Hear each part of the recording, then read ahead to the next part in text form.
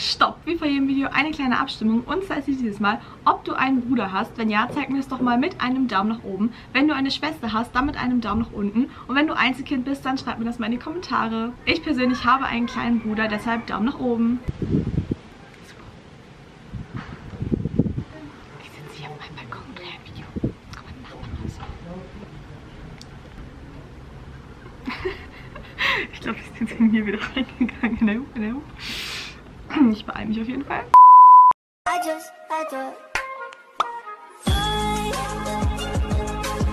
Damit hey und ganz herzlich willkommen zu meinem neuen Video. Heute gibt es endlich mal wieder ein Back-to-School-Video. Und zwar gibt es heute ein What's in my Pencil Case mit der Federmappe meines Bruders. Ich zeige euch so ein bisschen, was da drin ist, wie das Ganze aufgebaut ist. Einfach damit ihr das für euch anschauen könnt und vielleicht für euch ein bisschen Inspiration sammeln könnt und schauen könnt, ob ihr alles in eurer Federmappe habt, was man braucht. Vielleicht noch wichtige Sachen ergänzend einpacken könnt. Ihr könnt mir auch gerne mal in die Kommentare schreiben, was bei euch in eurer Federmappe noch drin ist, was jetzt nicht in der Federmappe meines Bruders drin ist. Schreibt mir das gerne mal in die Kommentare. Vielleicht braucht er ja noch eine ganz, ganz wichtige Sache, die wir jetzt irgendwie übersehen haben oder total vergessen haben. Also vielleicht gibt es ja was bei euch, was ihr noch empfehlen könnt oder was bei euch immer in eurer Federmappe drin sein muss, ein Must-Have. Irgendwie sowas schreibt mir das gerne mal in die Kommentare. Und bevor wir mit dem Video anfangen, geh doch einmal nach unten und schau, ob du mich schon kostenlos abonniert hast. Denn ich lade im August jeden Tag auf meinem Kanal ein neues Video hoch. Es lohnt sich auf jeden Fall. Und es werden auch noch viele Back-to-School-Videos kommen. Also eigentlich jetzt den ganzen August lang. Und falls du jetzt gerade richtig im Back-to-School-Vibe bist, dann schau doch oben bei meiner Back-to-School-Playlist vorbei. Dort habe ich dir nämlich verlinkt. Da habe ich schon circa 40 Back-to-School-Videos hochgeladen. Da wird bestimmt etwas für dich dabei sein. Also schau gerne einfach mal vorbei, aktiviere die Playlist, damit du immer eine Benachrichtigung bekommst, wenn ich ein neues Video hochlade und da reinpacke. Und ansonsten abonniere super gerne meinen Kanal, wie gesagt. Aktiviere die Glocke und schalte die Benachrichtigung an, da ich, wie gesagt, keine festen Uploadzeiten habe und mehr oder weniger spontan hochlade. Ansonsten kannst du mir auch super gerne auf Instagram folgen und auf TikTok. In meiner Insta-Story kündige ich jedes Video vorher an. Also, wenn ihr mir dort folgt, seid ihr auch immer auf der sicheren Seite und bekommt alles mit. Ja, und dann würde ich sagen, let's go mit dem Video. Viel Spaß! Ich hoffe, man hört den Wind jetzt nicht allzu krass und man versteht mich gut. Jedenfalls sind das die beiden Federmappen von meinem Bruder. Und zwar einmal diese Federmappe hier von Setch als seine Hauptfedermappe. Die kennen wahrscheinlich manche von euch schon. Die habe ich letztes Jahr verwendet. Allerdings nur die ersten paar Monate. Und dann hatte ich meine kleine Federmappe, also so eine kleine, ich weiß nicht, wie man das bei euch nennt, Schlampeitui. I don't know. Einfach weil mein Ranzen zu klein war und da nicht mehr reingepasst hat und ich sonst, äh, sonst nichts mehr mitnehmen könnte. Deshalb hat er die jetzt, weil er jetzt auch den Rucksack von Setch hat, also seinen Schulranzen. Und das da einfach ganz gut passt und die ja noch voll in Ordnung ist. Und vielleicht nochmal zur Info, mein Bruder kommt jetzt in die fünfte Klasse eines Gymnasiums. Und das hier ist jetzt sozusagen seine Hauptfedermappe. Das ist einfach eine von Setch. Die habe ich euch nochmal separat in einem extra Video vorgestellt von Setch, wo ich euch auch seinen Ranzen gezeigt habe. Und ansonsten gibt es auch noch auf meinem Kanal sein Back to School Supplies Haul für die fünfte Klasse. Dort könnt ihr auch super gerne vorbeischauen. Das gibt es bei dem verlinkt. Und dann würde ich sagen, machen wir das Ganze einmal auf und ich zeige euch, was da sonst so drin ist, beziehungsweise wie das Ganze aufgeteilt ist. Wow! So sieht das Ganze von innen aus. Hier sieht man erstmal so eine Trennwand hier. Hier oben sind seine fünf Faber-Castell Neonstifte. Das sind solche Filzstifte. Die habe ich euch auch in seinem Back to School Supply Haul gezeigt. Die Neonfarben hat er und ich habe die Pastellfarben. Die sind einmal hier oben drin. Dann kann man das Ganze hier mit so Klettverschluss aufmachen. Hier hat er dann Platz, seinen Stundenplan einzutragen, den er dann bekommt von den Lehrern. Und hier ist einmal sein Geodreieck drin. Das ist dieses hier. Das hatte er noch aus dem letzten Jahr. Und das passt hier eigentlich auch super rein, trotz diesem Griff hier. Und ansonsten kann man das Ganze dann hochklappen.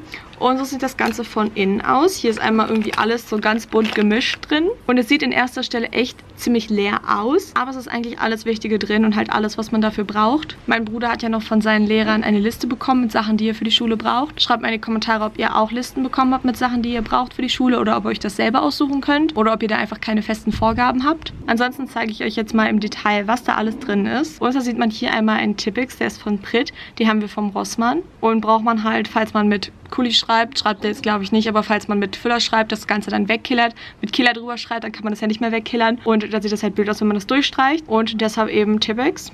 Aber hier dieser zum Rollen, nicht der flüssige. Ich finde, der flüssige ist irgendwie mega unpraktisch, weil man halt so lange warten muss, bis man wieder drüber schreiben kann. Schreibt mir in die Kommentare, was ihr lieber mögt. Den flüssigen Tippex oder diesen Tippex hier zum Rollen. Also mein persönlicher Favorit ist wirklich der hier, weil bei dem anderen muss man halt wirklich irre lange warten und es stinkt. Ansonsten ist hier noch einmal ein gelber Textmarker drin. Das hier ist jetzt meiner. Er hat auch noch einen neonfarbenen, aber der ist jetzt hier erstmal stellvertretend drin. Und es stand halt auf seiner Liste, dass er einen gelben Textmarker braucht. Und dann ist hier einmal sein alter Ingi aus der vierten Klasse drin. Ich weiß nicht, ob sie jetzt in der fünften Klasse mit Füller schreiben müssen oder ob sie sich das aussuchen können. Und das ist einer von Stabilo. Und das ist extra einer speziell für Linkshänder angefertigt, da mein Bruder Linkshänder ist, falls es manche von euch noch nicht wussten. Und das ist halt einfach ein ganz normaler Inky. Das hier ist sein neuer Füller, der ist von Pelikan. Den haben wir jetzt auch neu gekauft extra. Er hatte davor schon einen, allerdings war die Spitze da ein bisschen kaputt und total verbogen.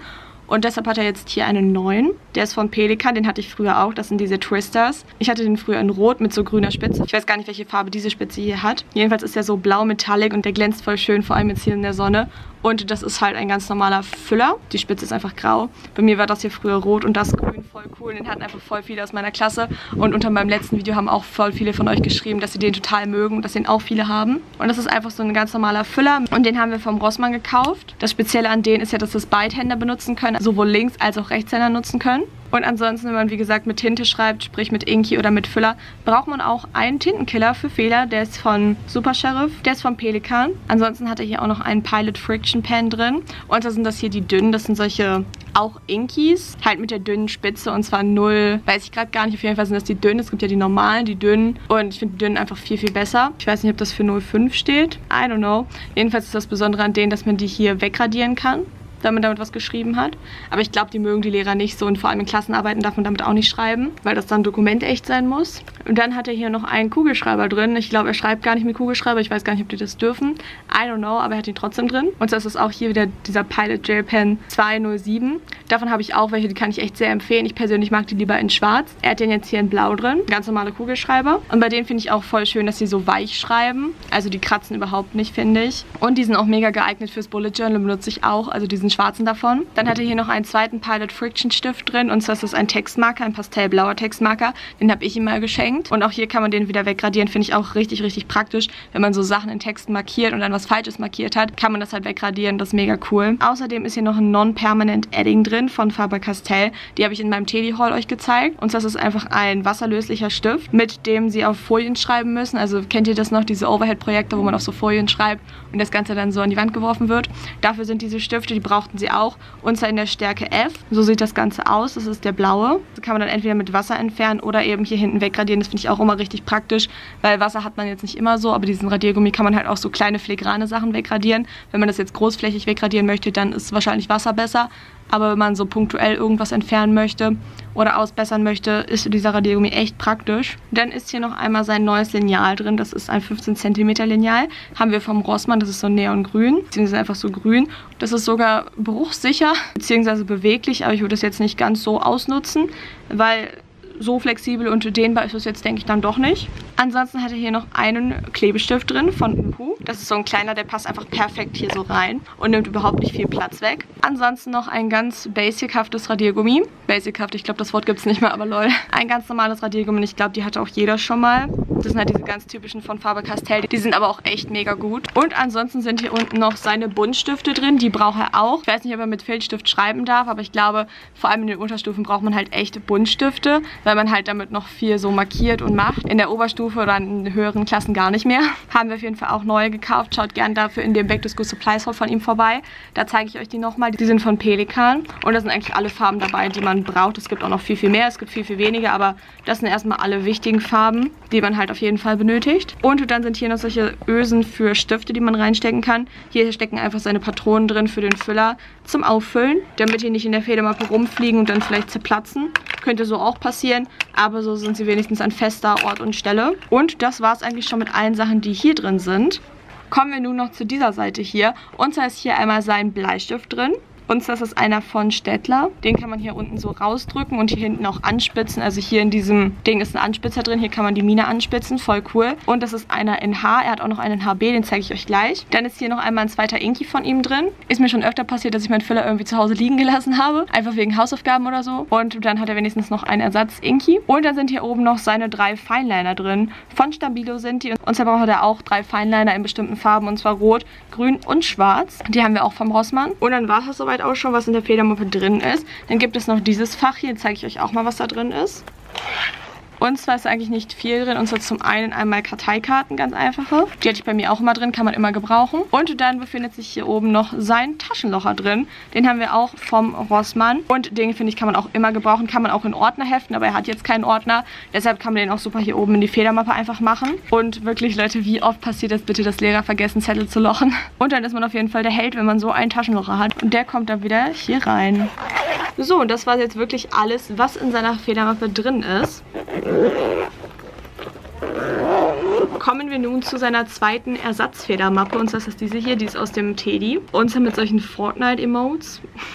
Lol, ich kenne mich damit absolut nicht aus, fragt mich nicht. Und das ist einfach so eine Ersatzfedermappe. Ich kann euch da auch mal zeigen, was da drin ist. Und zwar halt eigentlich im Großen und Ganzen nur so Ersatzzeugs, beziehungsweise Sachen, die man nicht so oft braucht. Wie zum Beispiel ein Edding. Braucht man echt oft für Plakate. Meistens haben die Lehrer auch welche dabei. Aber ansonsten, wenn man das so privat macht, auf jeden Fall immer cool dabei zu haben. Dann ist hier noch einmal seine Schere drin für Linkshänder. Die ist auch vom Pelikan. Ansonsten nochmal seinen alten Füller und Inky. Ich weiß nicht, ob er die noch weiter nutzen möchte. Die sind hier jetzt trotzdem erstmal drin. Ansonsten sind hier noch Ersatzpatronen bzw. Ersatzminen für Füller und so drin. Auch hier wieder von Pelikan. Ein Ersatzklebestift hat er auch noch aus dem letzten Jahr. Der ist von Brit, der ist neongrün. Eigentlich voll die coole Farbe. Ich habe den sogar in pink. Okay, der sieht jetzt wirklich echt eklig aus. Deshalb zeige ich euch das jetzt mal so. Der ist auf jeden Fall echt cool grün von innen. Und ansonsten ist hier noch ein Bleistift drin. Und das ist einfach so eine Federmappe, die er halt nicht jeden Tag braucht.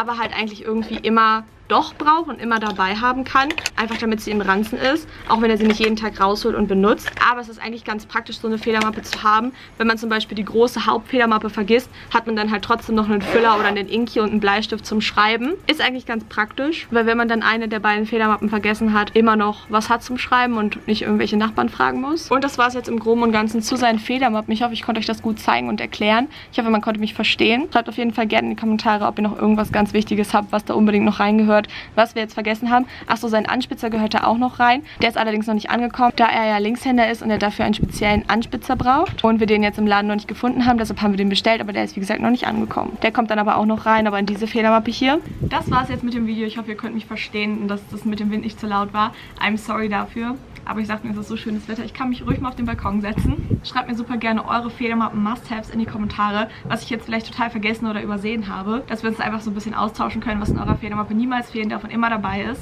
Mein What's in my Pencil Case wird es die Tage auch noch geben, also seid gerne dabei. Seid aktiv auf meinem Kanal, abonniert ihn gerne, schaltet euch die Glocke an, aktiviert euch die Playlist. Dann bedanke ich mich natürlich ganz, ganz herzlich bei dir fürs Zuschauen und würde mich auch sehr, sehr freuen, wenn wir uns morgen oder bei einem meiner anderen Videos wiedersehen. Bis dahin, ciao, hab euch lieb!